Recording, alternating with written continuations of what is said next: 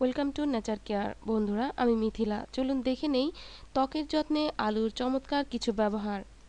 ত্বকের যত্নে আলু। অনেকের প্রিয় একটি সবজি হলো আলু। রান্নায় বহুল ব্যবহৃত এই সবজিটি ত্বকের জন্যও বেশ উপকারী। শুধু ত্বক নয়, চুলের যত্নেও আলুর ব্যবহার করতে পারেন।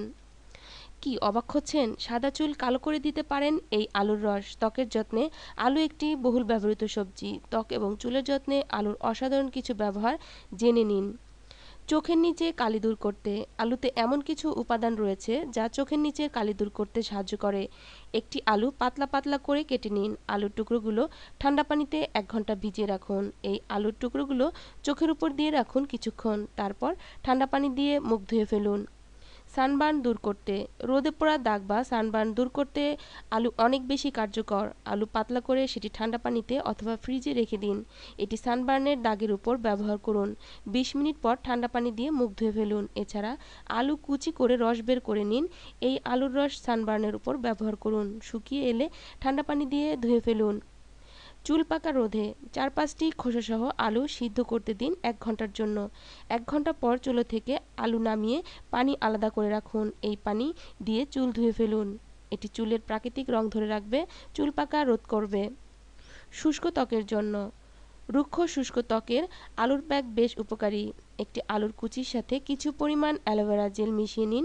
এই মিশ্রণটি ত্বকে ব্যবহার করুন। চল্লিশ মিনিট পর শুকিয়ে গেলে ঠান্ডা পানি দিয়ে মুখ ধুয়ে ফেলুন। ত্বকের কালো দাগ দূর।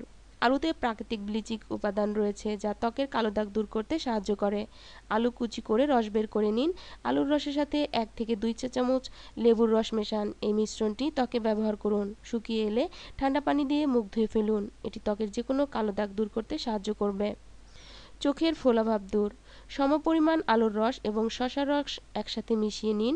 একটি তুলোর বলে এই মিশ্রণটি লাগিয়ে চোখের নিচে ব্যবহার করুন। শশাতে রয়েছে অ্যাসকর্বিক অ্যাসিড এবং ক্যাফিক অ্যাসিড যা চোখের নিচে কালি এবং ফোলাভাব উভয় দূর করে দেয়। ত্বকের জ্বালাপোড়া এবং চুলকানি রোধ। একটি ডিমের সাদা অংশ এবং কিছু পরিমাণ আলুর রস একসাথে মিশিয়ে নিন। এই মিশ্রণটি ত্বকে ব্যবহার করুন। শুকিয়ে যাওয়া পর্যন্ত অপেক্ষা করুন। শুকিয়ে গেলে 30 মিনিট পর ঠান্ডা পানি দিয়ে মুখ ধুয়ে ফেলুন। এটি ত্বকের চুলকানি, জ্বালাপোড়া দূর করে দেবে। বন্ধুরা, ভিডিওটি ভালো লাগলে অবশ্যই লাইক এবং শেয়ার করবেন। এতক্ষণ আমার সঙ্গে থাকার জন্য অসংখ্য ধন্যবাদ। চ্যানেলটি সাবস্ক্রাইব করতে ভুলবেন না।